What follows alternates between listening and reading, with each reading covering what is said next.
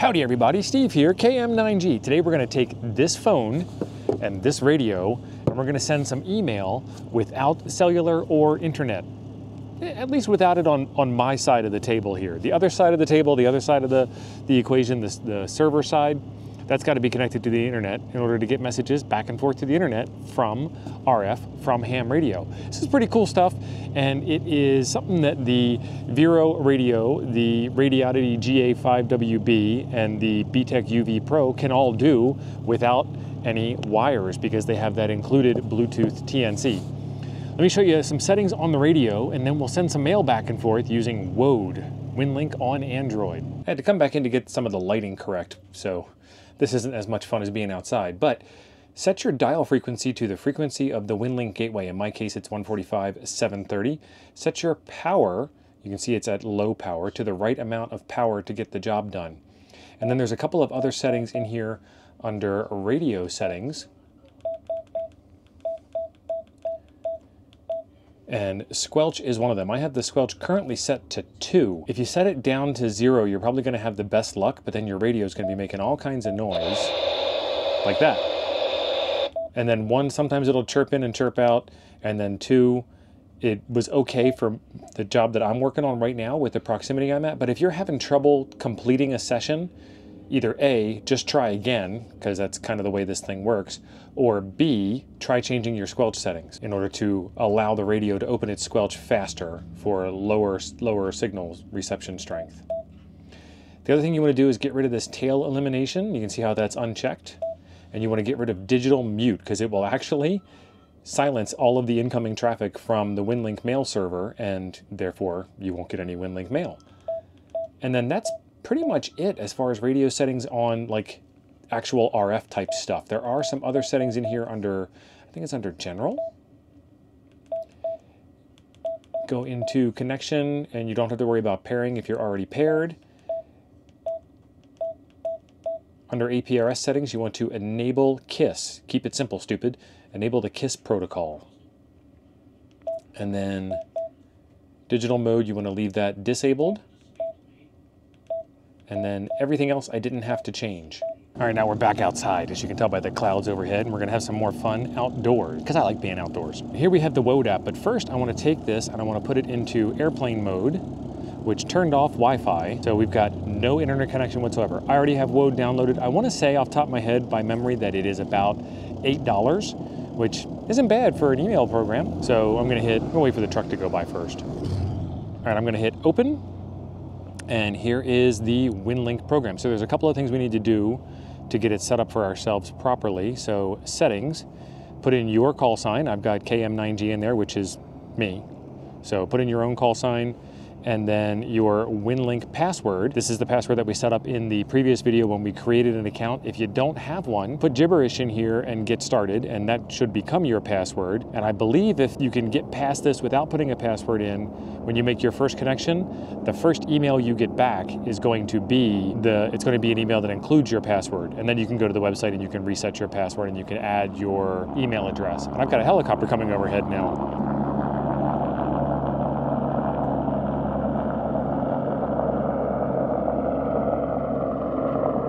And then all of the rest of the stuff that's on this screen, leave it at its defaults and then play with it after you get it working because there's a lot of stuff in here to play with, a lot of fun stuff to do. That's all you need to do is put in your call sign and your password and you're off to the races.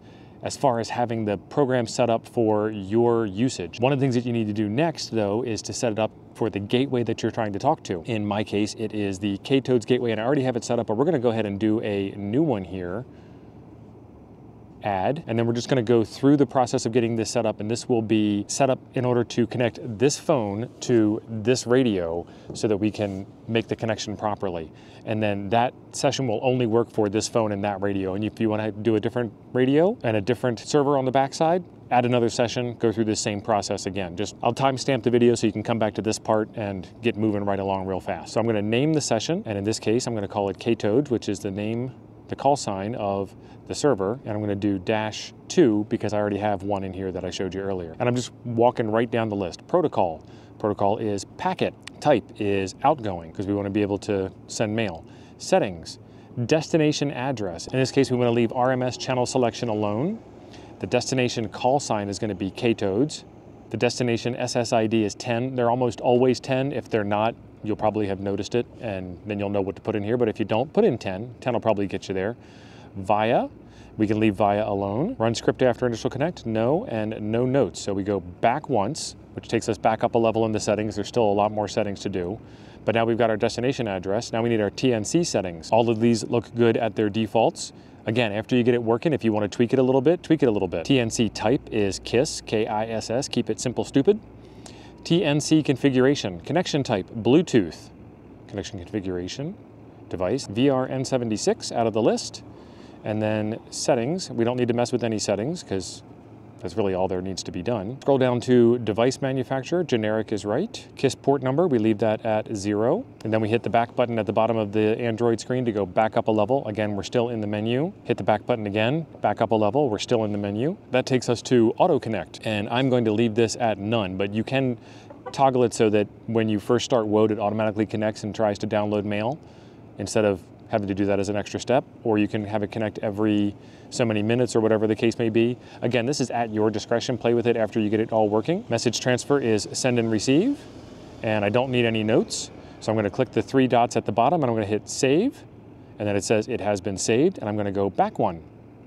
Now, I haven't done anything, I haven't configured a message, I haven't read any mail, I haven't replied to any mail, I haven't looked any farther. I'm just gonna hit connect, which should connect my radio to the radio server, and after a couple of minutes of exchange, it should tell me that I don't have any mail and good luck, or you do have some mail and I've downloaded it. So let's go ahead and hit play now at the bottom of the screen and it's gonna start connecting and the radio should start making some noise. There we go. So I'm gonna look at the logs. And then this program stop, program started, that happens whenever you flip the screen side to side. So don't be alarmed about that. But now we can see some traffic coming back and forth. So the WinLink gateway has replied. It said this is KTOADS 10 DigiPi. It has connected. It's now connected to the CMS, the mail server on the backside. The gateway has connected to the mail server on the backside.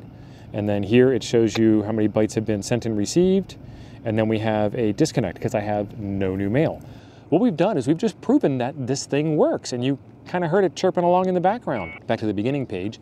So, so we've got it working, we've got a working connection. What do we do now?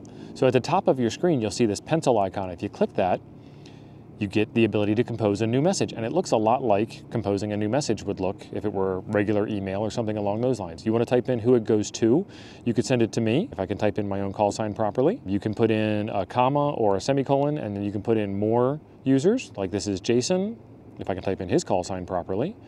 And then this is Craig. So you could do all that. One of the interesting things about WinLink is you can't send an email to yourself, but they've got you covered. They've kind of figured this out. If if you send an email to yourself, it creates this loop in the system and, and things go crazy and, and we don't want things to go crazy. We want things to work.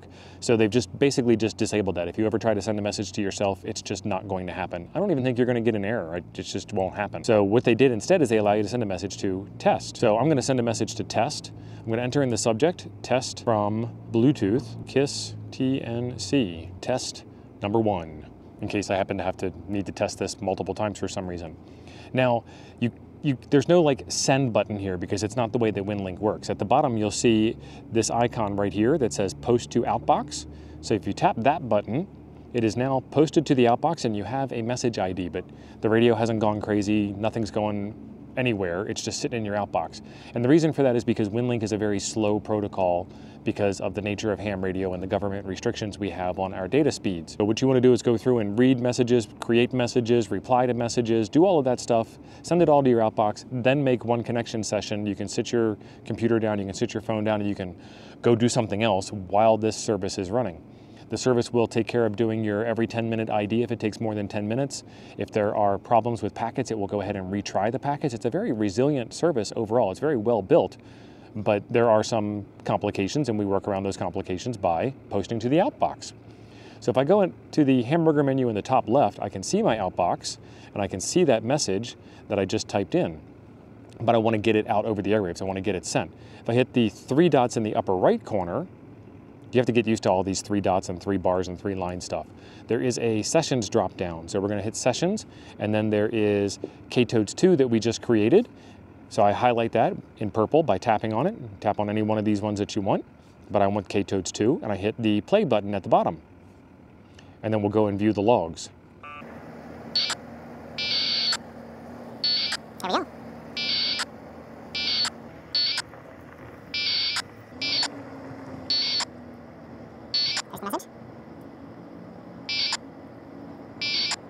And then it says, message, message ID has been sent to all recipients, the second line on the log line, and then we have a disconnect. So if we go back to vertical mode, I will have another message up here that says has been sent to all recipients. Excellent. If we go back into our outbox, our outbox is now empty.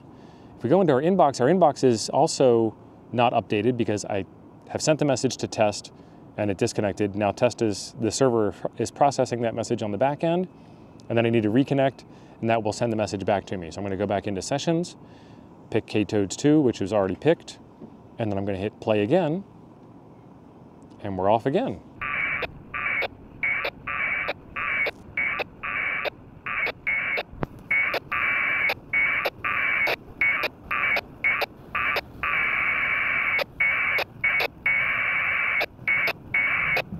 So if we look, message was received from service. Excellent. And if we go back into our inbox, the following message was received by the WinLink test message reflector. Subject, test from Bluetooth KISS TNC from KM9G to test.